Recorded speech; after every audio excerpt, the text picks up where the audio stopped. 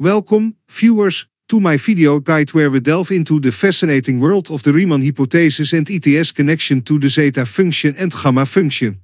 I am Surajit Ghosh, a certified accountant from Kolkata, India, with over two decades of experience in number crunching and financial analysis. My passion for numbers has led me to explore the realm of mathematics, and in this video, we will explore the significance of the Riemann hypothesis and ETS potential implications for prime number distribution. While the Riemann hypothesis remains unproven, mathematicians worldwide are actively investigating various approaches to expand the domain of the zeta function and gain further insights into this intriguing problem. So, let's embark on this exciting journey together. Before we delve into the process of extending the domain of the Riemann hypothesis and my personal journey in attempting to prove it, let's first grasp the essence of what the hypothesis entails. The Riemann hypothesis was formulated by Bernhard Riemann, a German mathematician, in 1859. It revolves around the distribution of prime numbers and their connection to the zeros of the Riemann zeta function. The Riemann zeta function is a complex valued function defined for complex numbers s with a real part greater than 1. It is computed by summing the reciprocals of all positive integers raised to the power of minus, starting from 1 and continuing infinitely. In other words, zeta s is expressed as the sum of 1 to the power minus s, plus 2 to the power minus s, plus 3 to the power minus s, and so on, extending to infinity. To broaden the domain of the Riemann zeta function, we employ a technique known as analytic continuation. Analytic continuation enables us to extend the definition of a function to a larger domain. In the case of the zeta function, we can extend it to the entire complex plane, excluding the point s equals 1, where it possesses a simple pole. Now, here's where it becomes intriguing.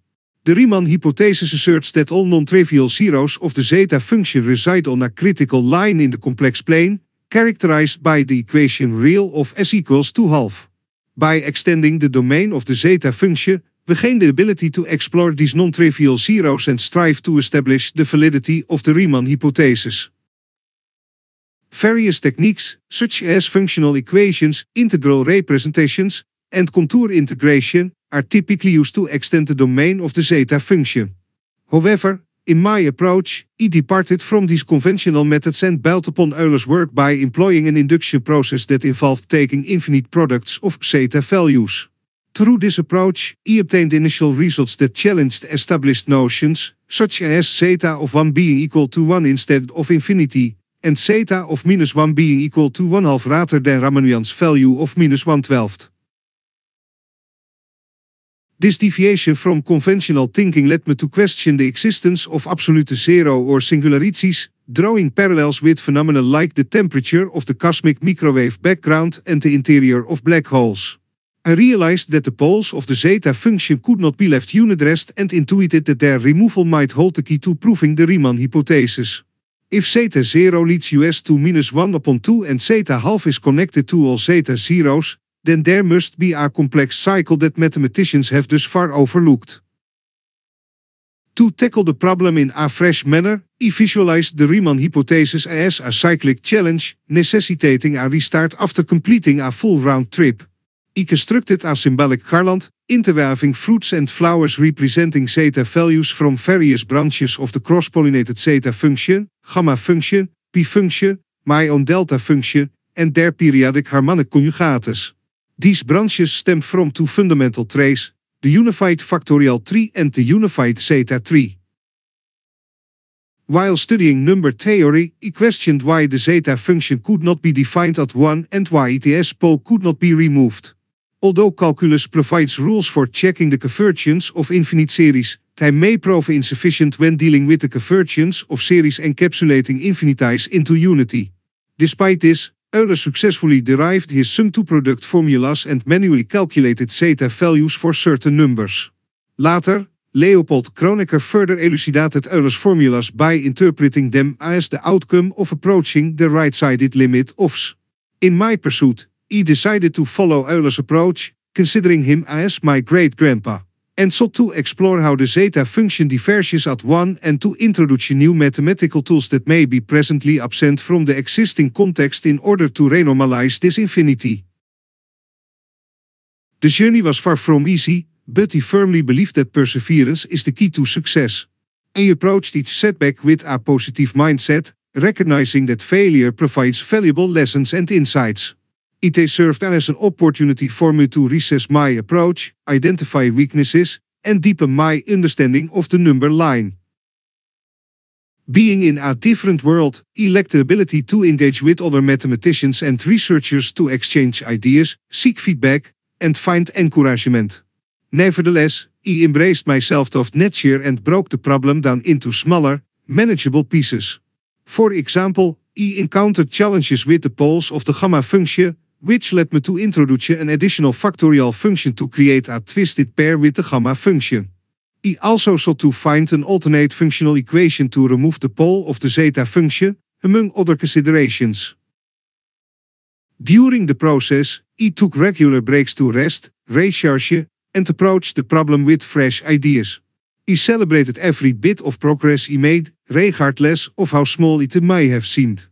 I recognize that each step forward not only brought me closer to my ultimate goal but also expanded my knowledge and revealed new insights that would aid me in future endeavors. Now, let me provide you with a summary of the results you have achieved thus far.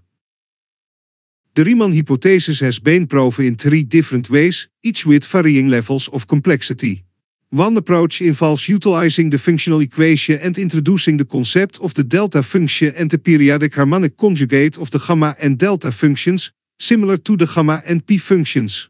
The other two proofs are derived using Euler's formula and elementary algebra. By analytically continuing the zeta function to an extended domain, the poles and zeros of zeta values are redefined. Furthermore, other prime conjectures such as the Goldbach conjecture and the twin prime conjecture have been proven based on a new understanding of primes and numbers as three-dimensional entities, as elucidated by Hamilton's four-dimensional quaternions.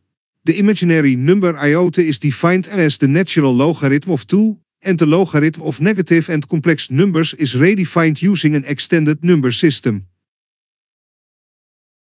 Additionally, the factorial of negative and complex numbers is redefined through the use of the delta function and the periodic harmonic conjugate of the gamma and delta functions. Let me take you on a detour of my personal journey so far. As an accountant, I typically don't engage with scientific concepts in my daily life.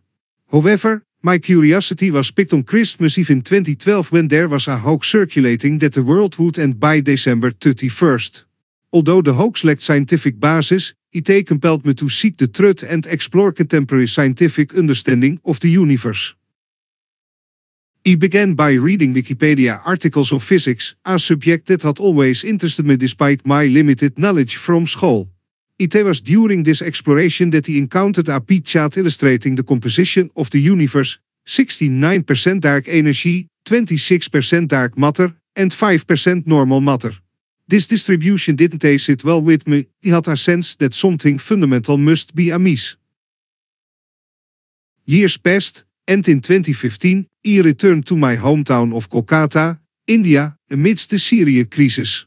My eldest son started attending third grade at his school, and one day, while searching the internet for fraction worksheets to help him practice, I realized that the seemingly simple numbers he encountered in my daily life were not as straightforward as they appeared.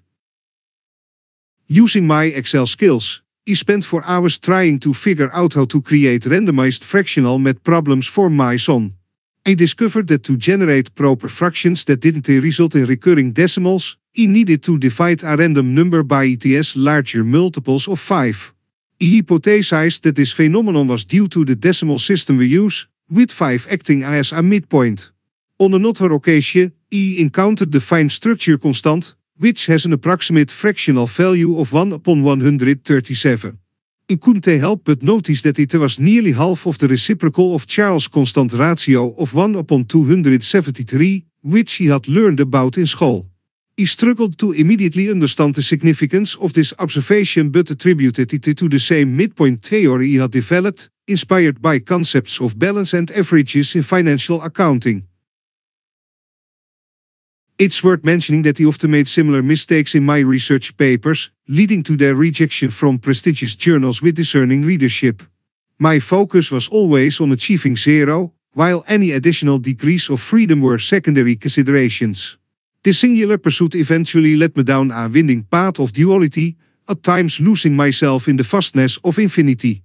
However, my desire to return safely to my starting point served as a compass, guiding me through the boundless expanse.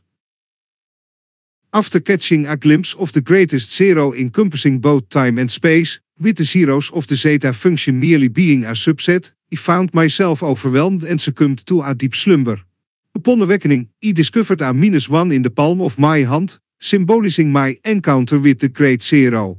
Euler had seen it his way, and he had seen it in mine, yet we both arrived at minus one. If you embark on this voyage and complete the cycle of three, you too will receive the gift of an additional minus 1, which must be placed meaningfully to maintain equilibrium in any equation.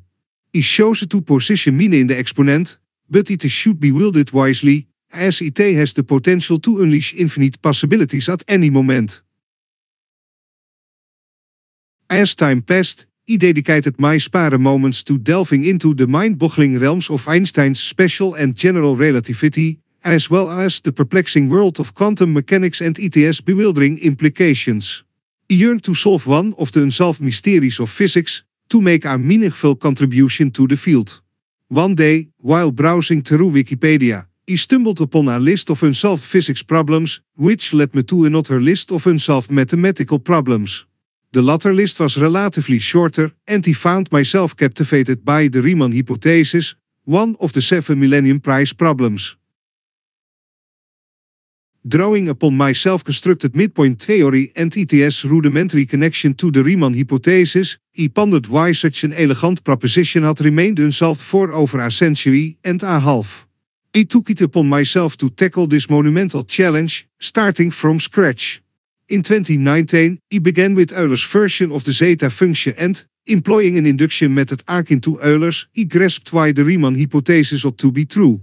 However, my initial elementary proof was met with rejection. In 2020, the world was gripped by the COVID-19 pandemic, and I found myself unemployed and confined to lockdown. This presented me with ample time to focus on unraveling the Riemann hypothesis. I realized that my initial elementary proof lacked the novel mathematical insights necessary for such a pivotal problem. I began to accumulate the pitfalls of contemporary mathematics, which may be the reason why we lack the tools to solve the Riemann hypothesis, as acclaimed mathematician Terence Tao once remarked in an interview. He observed that the imaginary number iota had ensnared both mathematicians and physicists in ETS illusory realm, keeping them engrossed. My initial elementary proof called for a half-unit circle, contradicting the conventional notion of a unit circle. He had discovered a way to incorporate a dual unit circle within the familiar concept of a unit circle, but further justification was needed. Although complex analysis was not my cup of tea, he delved into it to ensure that my work did not violate any principles. He found no such violations, yet he encountered only rejections. Returning to Riemann's functional equation, he sought to develop a more rigorous approach. He came across a particular theorem in complex analysis known as the harmonic conjugate theorem, which states that if a function is analytic in a given region, there must exist a harmonic conjugate of the original function. I realized that if he could slightly modify Riemann's functional equation by replacing the gamma function with an equivalent that is not indefinite at 1, he could potentially eliminate the function's pole. He understood that this would challenge the well-established divergence of the harmonic series as proven by Nicole Oresme centuries ago. This journey led me to introduce a new zeta function that spiraled cyclically to form a continuum, with the cycle serving as placeholders for infinity. However, he soon realized that he had inadvertently opened Pandora's box, giving rise to additional complications and dilemmas along the way. In order to tackle these novel problems, he found it necessary to revisit Euler's gamma function and create a variant of it which he named the delta function. However, even with this new function, he still faced an incomplete picture. To fill in the missing pieces, he delved into the realm of negative factorial functions and introduced two additional functions that served as periodic conjugates of the original gamma function and the newly discovered delta function. With these four factorial functions, he was able to extend the domain of factorials to negative numbers and the domain of the zeta function to negative even numbers. He brought all these components together and observed that the functional equation for my harmonic conjugate zeta function provided the long-awaited proof for the Riemann hypothesis. Yes, he had achieved it. He celebrated the victory brought about by the p by 3 angles, which propelled me into higher dimensions and granted me the proof. It is worth noting that one ray of the p by 4 angles also extends into the fourth dimension and has a presence in the unit sphere. However, I have left this branch of exploration for others who may have an interest in working with P further. Due to the popularity of calculus, Euler's number A has become more widely known than P, which is primarily associated with the study of geometry, particularly the geometry of circles. In my research paper, he hinted at the possibility of P serving as a basis for complex logarithms, where hyperbolic numbers in ETS exponent yield the conjugate form of Euler's formula, a to the power ep equals minus 1, which can be written as p to the power j equals minus 1. He sought natural occurrences that could validate this novel idea, but lacking access to astronomical data for verification, he turned to Google for information on the 60-degree latitude. The 60 degree latitude line runs parallel to the equator at a latitude of 60 degrees both north and south. One notable example is the Southern Ocean, which surrounds Antarctica. As the 60 degree south latitude line traverses this region, it encounters vast expanses of open water with no significant landmasses, resembling the notion of zero in relation to the zeta zeros. In the northern hemisphere, the 60 degree north latitude line passes through the Arctic Ocean. While various islands exist within the Arctic Circle, such as Greenland, Svalbard, and the Canadian Arctic Archipelago, the specific stretch along the 60 degree north latitude may also cross areas of open water, particularly during warmer months when sea ice melts. Although the presence or absence of land along the 60 degree latitude line can be influenced by factors such as tides, seasonal ice formation, and climate conditions, these regions are generally characterized by expansive stretches of open water without significant landmasses intersecting the 60 degree latitude line directly. After obtaining a natural signature as described earlier, I expanded my investigations to more generalized conditions, dilemmas along the way. In order to tackle these novel problems, I found it necessary to revisit Euler's gamma function and create a variant of it which he named the delta function. However, even with this new function, I still faced an incomplete picture. To fill in the missing pieces, he delved into the realm of negative factorial functions and introduced two additional functions that served as periodic conjugates of the original gamma function and the newly discovered delta function. With these four factorial functions, he was able to extend the domain of factorials to negative numbers and the domain of the zeta function to negative even numbers. He brought all these components together and observed that the functional equation for my harmonic conjugate zeta function provided the long-awaited proof for the Riemann hypothesis. Yes, he had achieved it. He celebrated the victory brought about by the p by 3 angles, which propelled me into higher dimensions and granted me the proof. It is worth noting that one ray of the p by 4 angles also extends into the fourth dimension and has a presence in the unit sphere. However, I have left this branch of exploration for others who may have an interest in working with P further. Due to the popularity of calculus, Euler's number A has become more widely known than P, which is primarily associated with the study of geometry, particularly the geometry of circles.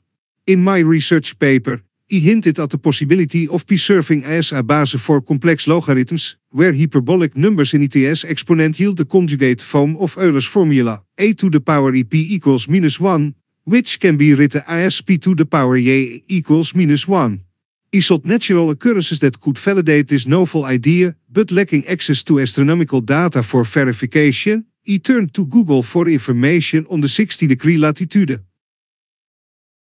The 60 degree latitude line runs parallel to the equator at a latitude of 60 degrees both north and south.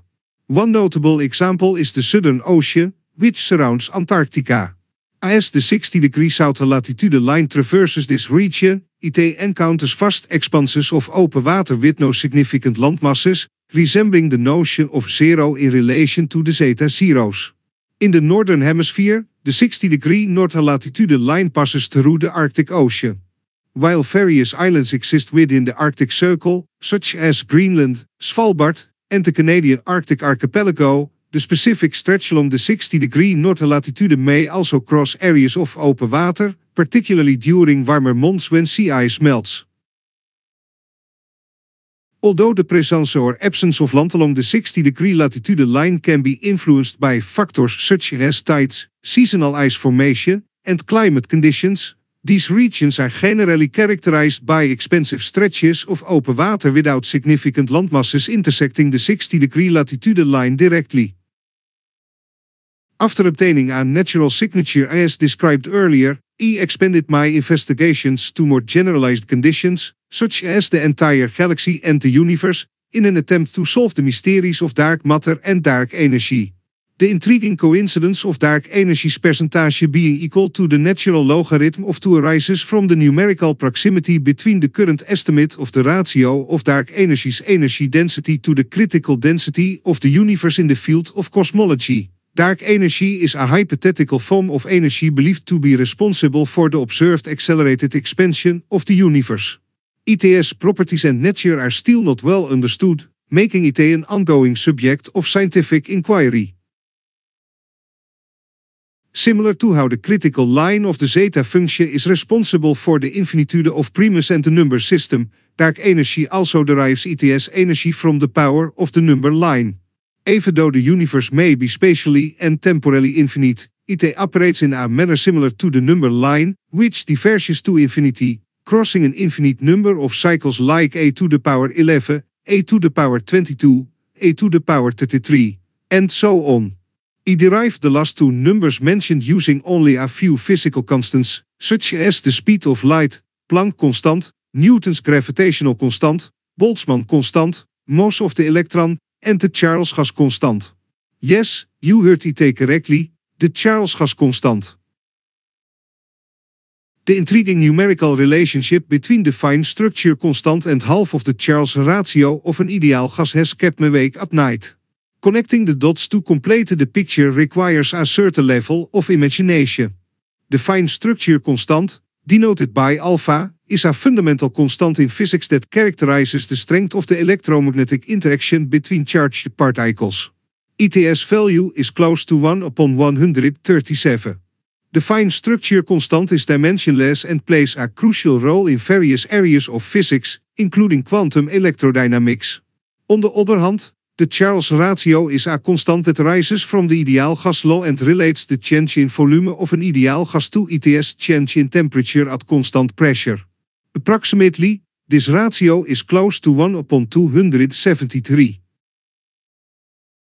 Although the Charles gas constant is not considered a fundamental constant, it should be regarded as more fundamental in the middle scale in which we live. Mathematically, it is closely related to the reciprocal of p to the power 4, multiplied by Euler's number a, the base of the natural logarithm.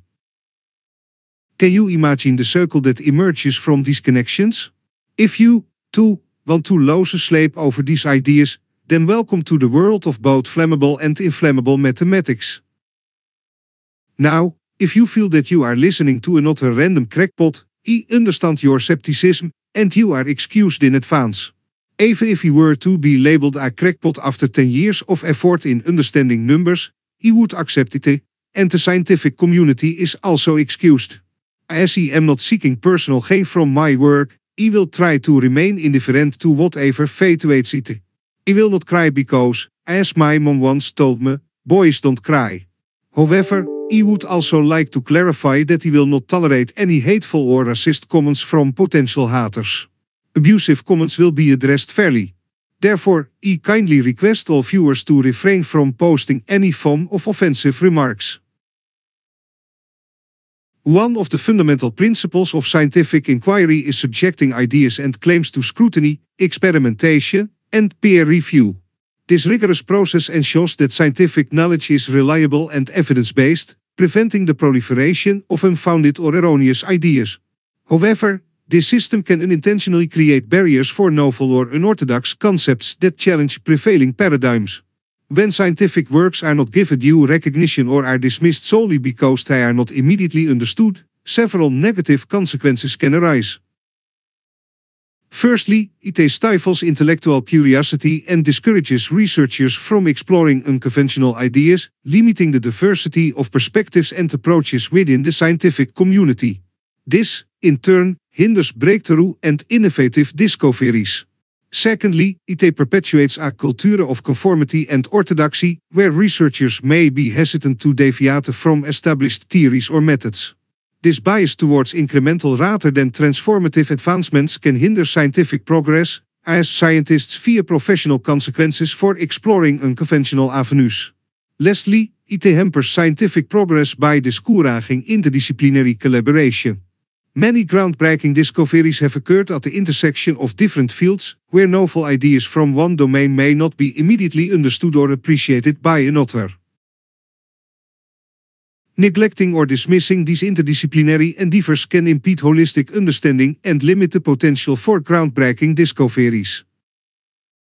Furthermore, overlooking scientific works that are not immediately understood by the scientific community can have broader societal implications. Scientific research often addresses pressing societal challenges, such as climate change, disease prevention, or technological advancements. By disregarding unconventional ideas, we may miss out on potential solutions to these complex problems. To address this issue, it is crucial to foster an environment that encourages open-mindedness, intellectual curiosity, and respectful dialogue within the scientific community. After successfully obtaining a natural signature, he embarked on extending my investigations to more general conditions, such as the entire galaxy and the universe, with the aim of solving the enigmas of dark matter and dark energy. It is intriguing to note that the percentage of dark energy coincidentally aligns with the natural logarithm of 2, which arises from the numerical proximity between the current estimate of the ratio of dark energy's energy density to the critical density of the universe in the field of cosmology. Dark energy is a hypothetical form of energy believed to be responsible for the observed accelerated expansion of the universe. However, ET's nature and properties remain poorly understood, making it a subject of ongoing scientific inquiry. Similar to the critical line of the zeta function, which is responsible for the infinitude of primus and the foundation of the number system, dark energy draws ETS energy from the power of the number line. Despite the potential spatial and temporal infinity of the universe, IT operates in a manner akin to the number line, diverging towards infinity and encompassing an infinite number of cycles, such as a to the power 11, a to the power 22, a to the power 33, and so forth. Remarkably, he derived the last two numbers using only a handful of fundamental physical constants, including the speed of light, Planck constant, Newton's gravitational constant, Boltzmann constant, mass of the electron, and the Charles gas constant yes, even the Charles gas constant. The intriguing numerical relationship between the fine structure constant and half of the Charles ratio of an ideal gas has captivated my attention, causing sleepless nights. Although these constants emerge from different domains of physics and lack a direct theoretical connection, they possess a numerical connection. The fine structure constant, denoted by alpha, is a dimensionless fundamental constant in physics that quantifies the strength of the electromagnetic interaction between charged particles. ETS value is approximately 1 upon 137 and plays a pivotal role in various branches of physics, particularly in quantum electrodynamics. Conversely, the Charles ratio is a constant originating from the ideal gas law, relating the change in volume of an ideal gas to ETS change in temperature at constant pressure. Approximately, this ratio is close to 1 upon 273. While the Charles gas constant is not typically regarded as a fundamental constant, it holds greater significance within the intermediate scale of our existence. Mathematically, IT is closely related to the reciprocal of p to the power 4, multiplied by Euler's number a, the base of the natural logarithm. Can you envision the circle that emerges from these interconnected dots? If you, too, find yourself losing sleep over these ideas, then welcome to the realm of captivating and thought-provoking mathematics. Now, if you suspect that you are merely encountering another random crackpot, I understand your reservations and I excuse you in advance. Even if, after 10 years of painstaking effort to comprehend numbers, I am labeled a crackpot, I will accept it and I excuse the scientific community as well. Since I am not seeking personal gain from my work, I will strive to remain indifferent to whatever fate befalls it. As my mom once told me, boys don't cry, so I won't shed tears. However, I must also clarify that he will not tolerate any abusive comments from potential detractors. Abusive remarks will be handled equitably.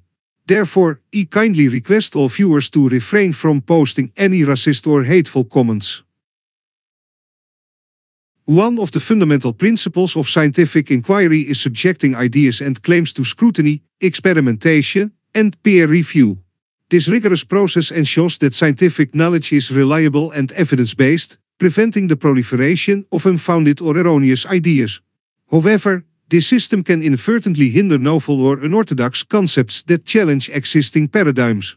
When scientific works are not accorded due recognition or are dismissed solely due to their immediate incomprehensibility, several adverse consequences may arise. Firstly, it stifles intellectual curiosity and discourages researchers from exploring unconventional ideas, limiting the diversity of perspectives and approaches within the scientific community. Consequently, breakthrough and innovative discoveries may be impeded. Secondly, it perpetuates a culture of conformity and orthodoxy, where researchers may hesitate to deviate from established theories or methods. This bias towards incremental rather than transformative advancements can hinder scientific progress, as scientists fear professional consequences for exploring unconventional avenues. Lastly, IT hampers scientific progress by discouraging interdisciplinary collaboration. Numerous groundbreaking discoveries have emerged at the intersection of different fields, where novel ideas from one domain may not be immediately comprehended or appreciated by another. Neglecting or dismissing these interdisciplinary endeavors can impede holistic understanding and limit the potential for groundbreaking discoveries. Moreover, overlooking scientific works that are not immediately grasped by the scientific community can have broader societal implications. Scientific research often addresses pressing societal challenges, such as climate change, disease prevention, or technological advancements. By disregarding unconventional ideas, we may overlook potential solutions to these complex problems. Let us change the topic. Let's understand how these new mathematical jackpots of rails can lead us to groundbreaking discoveries in every field of applied science. Imaginary numbers, denoted as multiples of the imaginary unity, are crucial in many areas of mathematics and physics. They are used extensively in complex analysis, quantum mechanics, electrical engineering, signal processing, and more. IT would indeed be a groundbreaking discovery with far-reaching implications across various branches of science, mathematics, and technology if imaginary numbers could be integrated with the real number line. The integration of imaginary numbers with the real number line would lead to a more comprehensive and unified mathematical framework.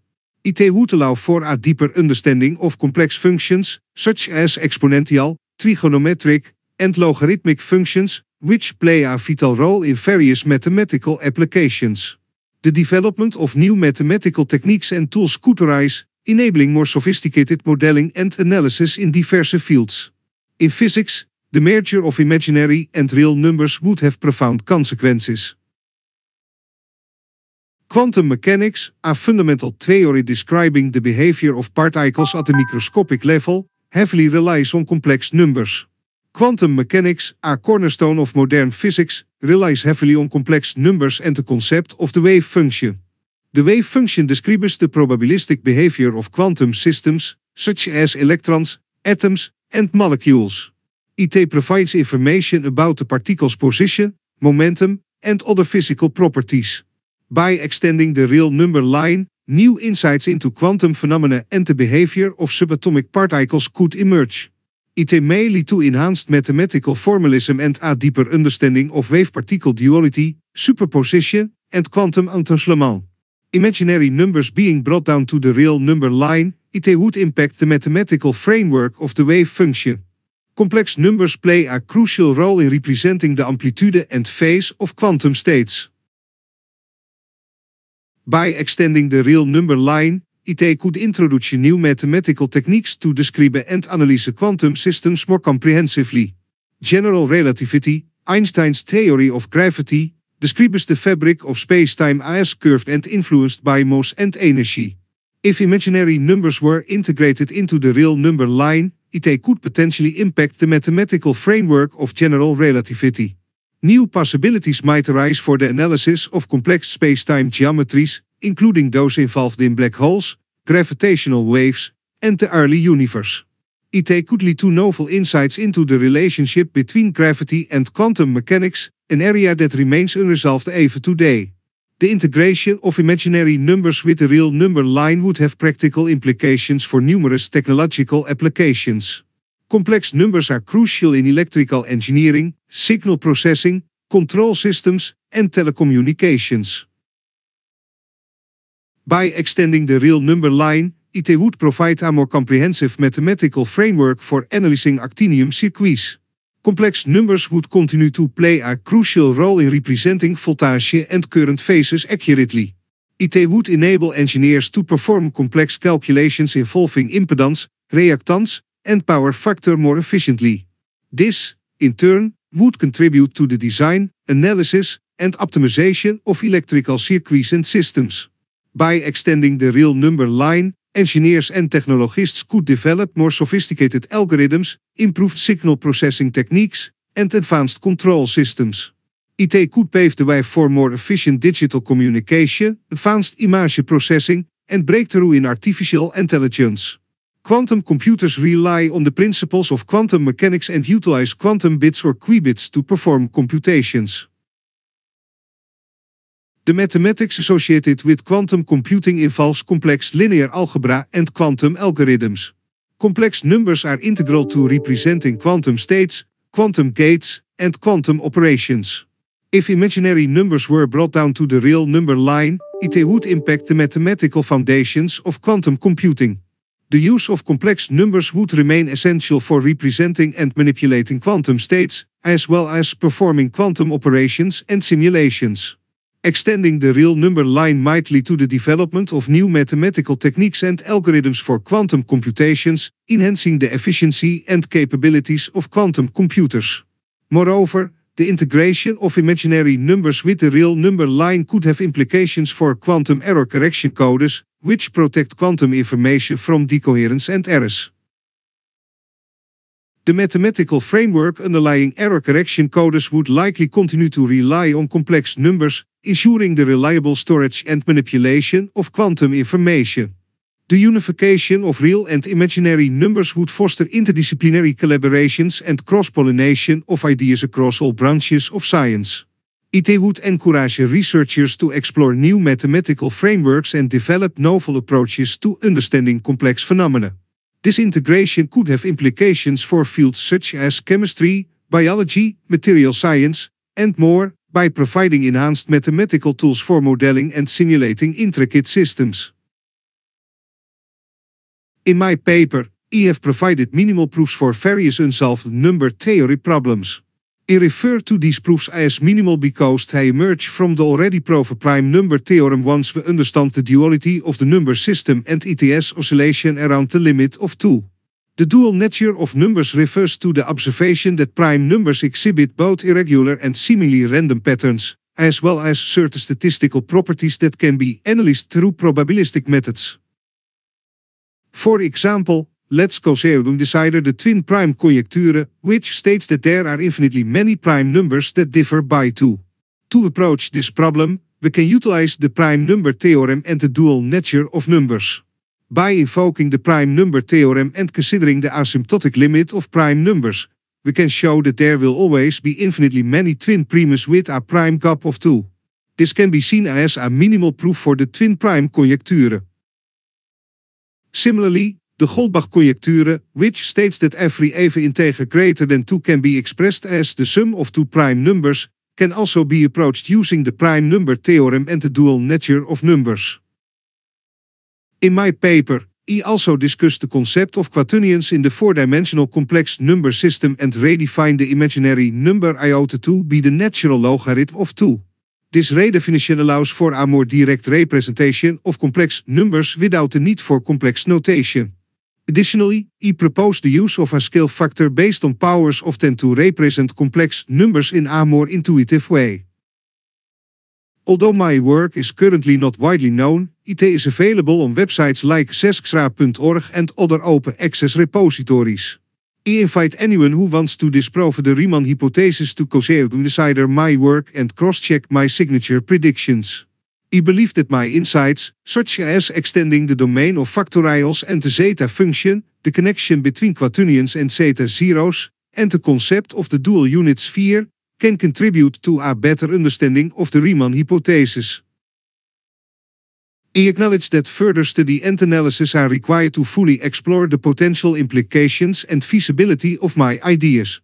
I encourage others to build upon my work and share it with the mathematical community.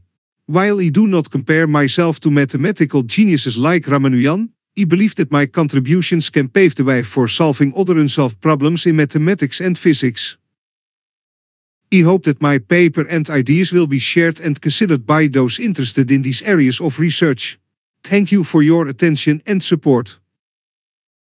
Before I sign off, let me make an official appeal for sharing my work officially once again. Dear science community, I am pleased to present my proof of the Riemann hypothesis.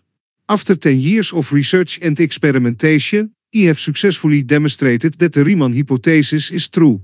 My proof is based on harmonic conjugate of zeta function and ITS functional equation. The Riemann hypothesis is one of the most important unsolved problems in mathematics. ITS proof has eluded mathematicians for over a century. My proof not only solves this problem but also opens up new avenues of research in the field of mathematics. The implications of my proof are far-reaching. IT has the potential to revolutionize the way we think about prime numbers and their distribution in the number line. IT could also have applications in other fields such as physics, computer science, and engineering. I am sharing my proof with the science community in the hope that it will inspire others to build on my work and advance the field of mathematics. I am not seeking any monetary compensation for my work. My only goal is to contribute to the advancement of humankind. Thank you for your attention.